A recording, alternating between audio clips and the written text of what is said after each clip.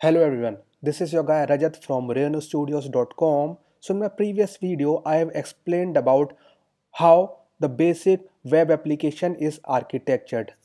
So in the previous video, I have talked about how the data gets collected from the front end then it goes to the web server then it goes through this application logic where all of the mumbo jumbo and what to do with that particular data happens and then it gets stored to the database and also how front end shows you images via web server right so all of that thing was covered in my previous video in case you haven't seen that video yet i would request you all to go and check that video out prior to starting this new video. Now in this video, I want to talk about load balancing and caching. Now, why would you ever need to learn about these things? See, this setup is a single server setup. So everything is residing on one server, right? So you have your database file system all of these files stored on one particular server and this web server is also running on that one particular server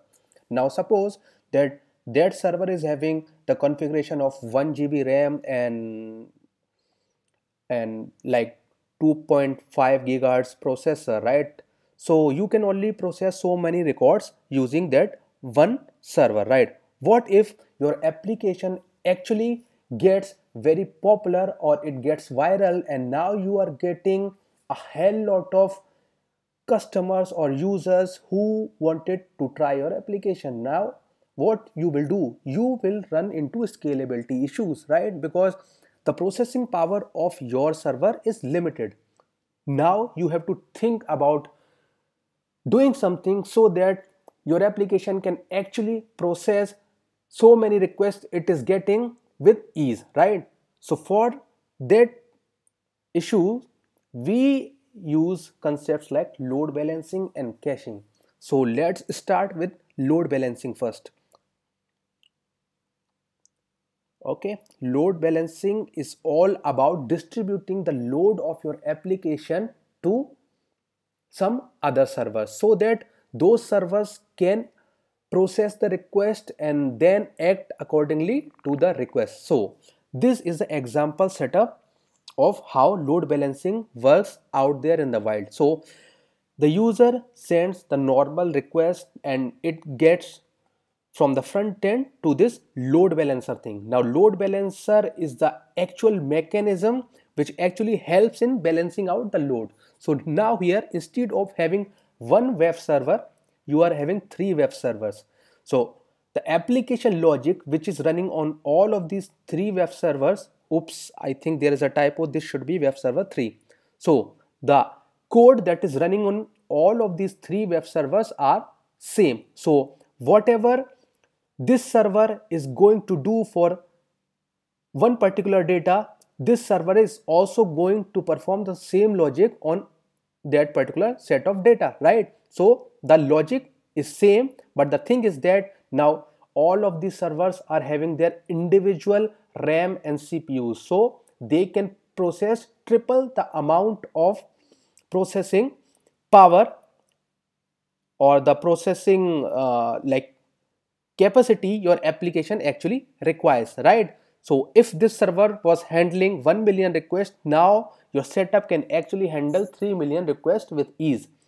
So what actually happens is the request come to this load balancer then it it is the responsibility of the load balancer to figure out like which application server it should forward the request to. So there are several mechanisms and algorithms to determine like to which web server load balancer should uh, forward the request. One such algorithm is the round robin algorithm. What?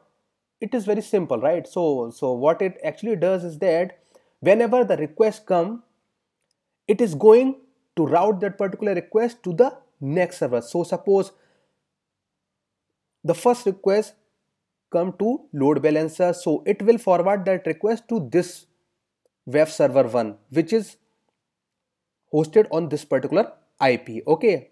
And when the request number 2 that is the next request comes it is going to route that request to this second server okay? And when the request 3 comes it is going to route that to this web server 3 and again if the request come that will be the request 4 it will again go to this 1.1 web server 1 okay so that is how round robin algorithm actually work. Now there are other algorithms like ip hashing and all but that will be out of the scope of this particular presentation. So we are not going to discuss about it. In case you want to know more about these things or uh, if you are trying to figure out or trying to set up load balancing for your application i would request you to go out on your own and check out what other sorts of um, load balancing algorithms are out there and what people are actually using right?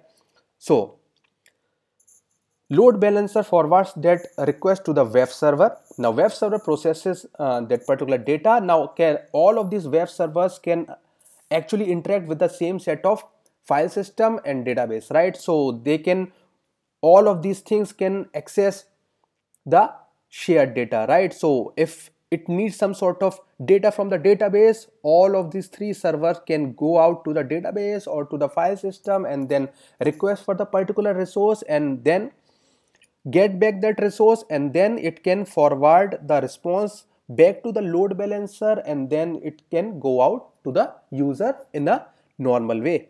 Okay.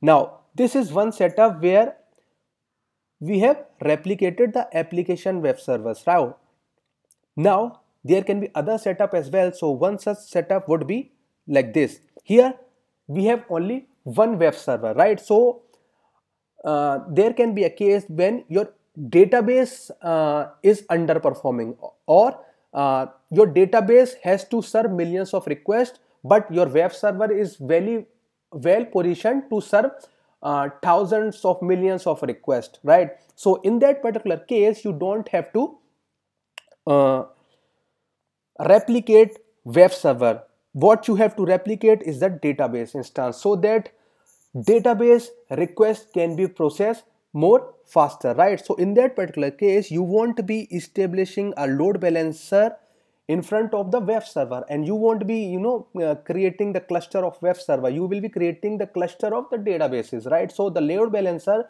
will be located in front of the database. Now whenever the web server requires some sort of data from the database the request is going to go to the load balancer. Now it will be the responsibility of load balancer to figure out like which database instance out of all these three is having the minimum amount of load. So it will figure out uh, that thing and then it will forward your request to that particular database instance and all of these database instances are having uh, the access to the same set of data. So it will just uh, get your data and return that data to the load balancer and that load balancer is going to return that data back to the web server and then the normal processing of the logic and uh, data routing will happen right? So this is one other setup of how load balancing can be done right? Now moving on to the caches okay so why would you need a cache? See uh, suppose uh, you have processed something or you have taken a photo right? So you have stored that photo on a web particular server. Now whenever somebody uh, requests you that photograph you can give them the url or the location of that particular um, image and then they can go out and download that image that is a simple setup right but if that image is of size 5 MB, right? So again and again and again you are wasting 5 MBs if the user keeps on reloading his browser or whatever medium he is using to view that particular photograph. So again the network transfer will happen, right? So uh, suppose he loads uh, your particular photograph which is of 5 MB for 5 times. So that will amount to 25 MB of data that was downloaded by that user from your web server. So in case you are paying for it right based on the mbs that gets transferred over the wire so the company who is renting out that particular hosting will be charging you for 25 mbs instead of 5 mbs so in those sort of cases we need caches so that we can readily serve the data from the cache so that we can save some network bandwidth or some processing power because see if the image is already fetched and it's uh, it is already decoded on user's browser so there is no need to fetch it again and then waste more computation power on decoding it right? So if it has already happened and the resource is not going to be changed uh, for a while. So you can better cache that thing. By caching you means storing that thing in a temporary medium so that uh, if a query comes at the later point of time you can readily serve that uh, query uh, from that temporary storage medium right? So those are caches right? Now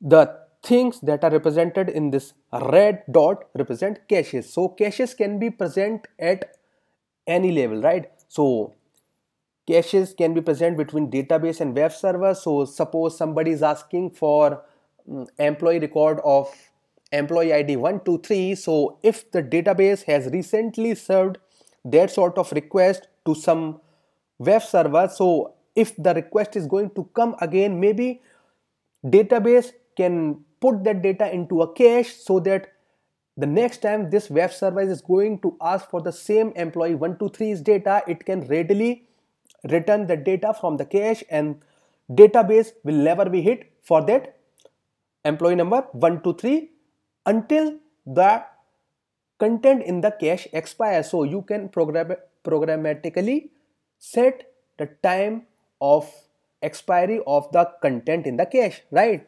So till the content is fresh it is going to be served from this cache. So database want to be hit in that particular sense you are going to save some bandwidth of the database and the processing power wasted on processing that record of employee 123 again and again.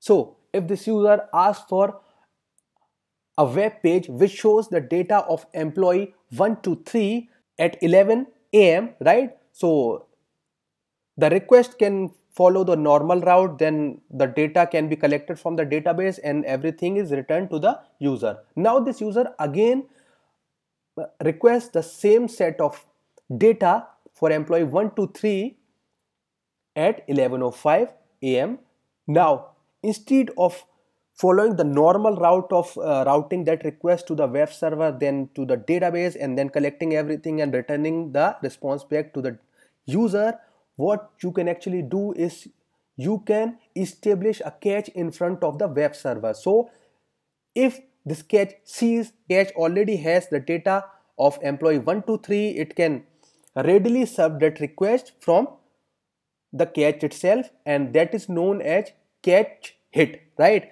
In case the cache figures out that it does not have the required data then in that case it can forward that request to the web server then again the normal flow will happen but before routing that data or the response back to the user the cache will ensure that it stores the copy of the data so that if next time this request comes it can readily serve this request from its storage right so that is how caches are supposed to work. Now the reason I marked this front end as red because front end can also act as cache. Now in normal browsers you can actually set headers right? So uh, if you are returning a response from the server you can set headers and there is one such header like cache control. Now this cache control header actually tells the browser to cache whatever response we have got from the server for at least 300 seconds right? So as soon as this response gets to the browser the browser cache will activate and it will store the response for 300 seconds. So if you are going to request the same set of data i mean if you are going to reload the page you are going to see the same set of data and there won't be any network trip to the server because we have already instructed users browser to cache that content and serve that content from its local cache right? So if user was requesting data from this post and this header was set from the server so the browser will cache the response for this particular URL and if you are going to reload the page you are going to see the stale content which can be stale based on how frequently the data changes on the server. So you set this sort of header according to what your requirements are and how fast the data changes on your backend right? All right. So this is all about caching and load balancing and how everything works. So i hope that it will be beneficial for guys who are network admin sysadmin dbas and all and people who are interested in learning more about DevOps concept, right? Because the world is moving towards DevOps now. Now there is not a clear distinction between network guys, developers, and change management guys. So everything is coming under one hood, right? So I thought that it would be a good idea to talk about load balancing and stuff so that you guys know like how high availability or scalability is achieved in big applications right? So with that i'm your guy Rajat Saxena signing off and i have launched a new application pollenchat.com so you may want to go out to pollenchat.com and check the application out. Also if you're new to this channel make sure to follow this channel subscribe this channel and press that bell icon so that you get the notification whenever I upload a new video. And that is it guys. So I'm just signing off. Take care. Bye bye